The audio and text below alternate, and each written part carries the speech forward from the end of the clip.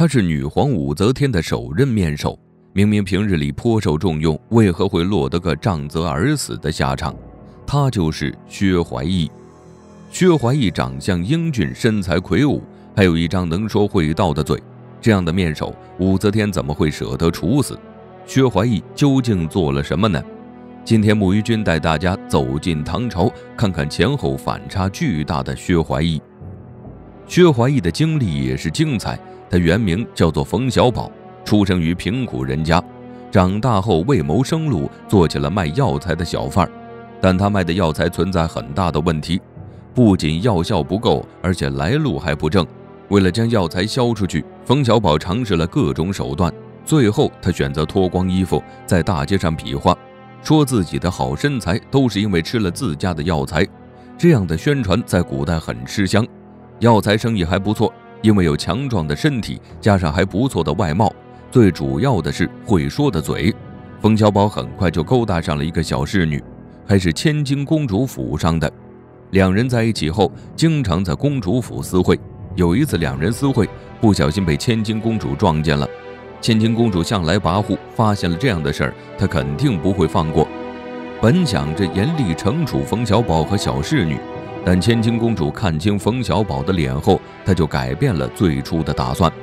因为一张英俊的脸，冯小宝保住了小命。但小侍女运气就没有那么好了，她犯下私会之事，事后被千金公主处死了。千金公主留下冯小宝，是因为他生得英俊，也是为了自己的私心。因为千金公主在这之前摊上了一件大事儿，被牵扯进一桩谋反案中。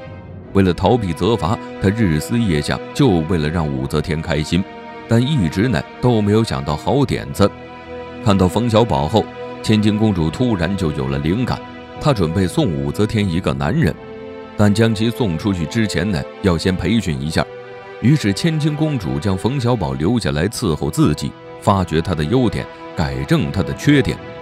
经过一段时间的观察，千金公主发现冯小宝有很多招人喜欢的地方，并且什么事情一点他就通了。各方面考核完成后，千金公主将冯小宝精心打扮好，然后呢，将其送到了武则天身边。千金公主为何确定武则天会收下冯小宝？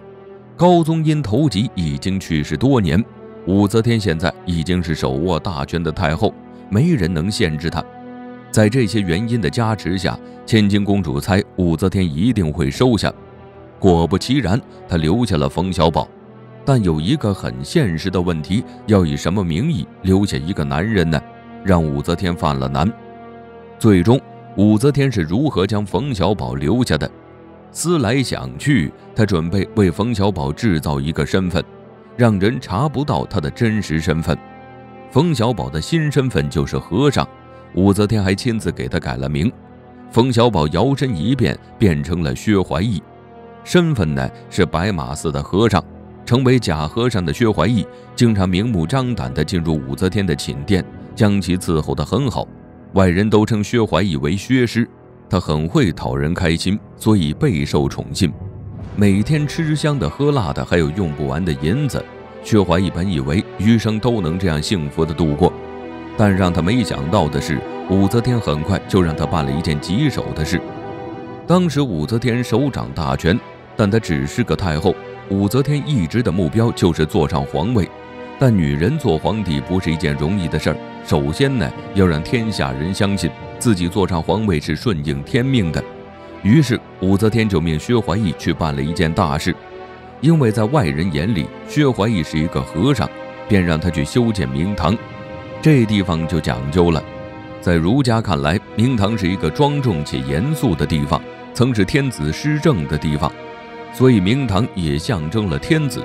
明堂的修建关乎武则天称帝大事，他非常的重视。薛怀义接下这个任务也是压力倍增，在明堂建筑的过程中，薛怀义一点儿也不敢放松，他每天都会去盯工，安排人手和时间。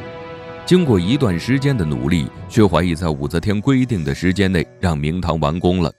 因为花费不小，这个明堂又高又大，里面的装饰十分华丽。武则天参观后非常的满意，重重的赏赐了薛怀义。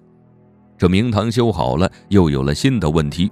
还要找出女人做皇帝的依据，这样才能堵住悠悠众口。此事呢，武则天也是叫薛怀义去办的。他被委以重任，丝毫不敢懈怠，于是带着一群和尚，在寺庙的藏书阁中夜以继日地奋斗着。翻阅大量经书后，还是没有找到。就在薛怀义要放弃时，突然一和尚找到一本名叫《大云经》的经书。这经书里有女子做统治者的明确记录。这个发现对武则天帮助巨大。而后呢，他顺理称帝，坐上了梦寐以求的皇位。如此一来，薛怀义就成了头号大功臣，他被武则天封为了大将军，达到了人生巅峰。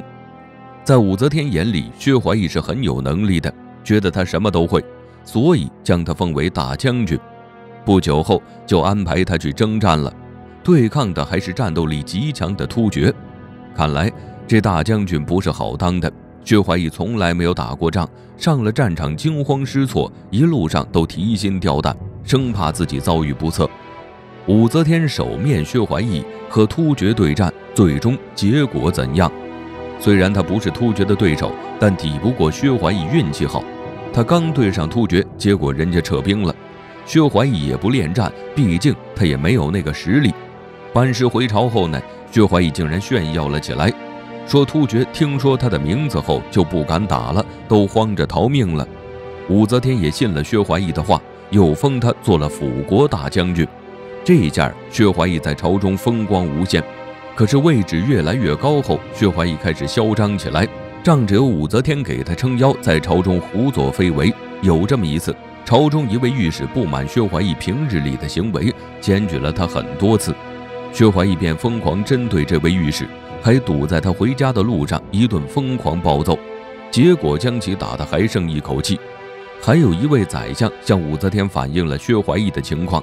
结果呢，他也是简单粗暴，将人打了一顿，还让宰相跪在他面前道歉。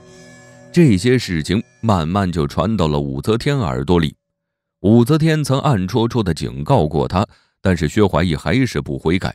他不在朝中兴风作浪，就带着他那帮假和尚到大街上去生事，骑马横穿闹市，将老百姓撞飞了也不管，有时撞死了人，直接就走了，使得民间激愤一片。欺诈老百姓的事情，薛怀义也经常干。因为太过嚣张，武则天都看不下去了。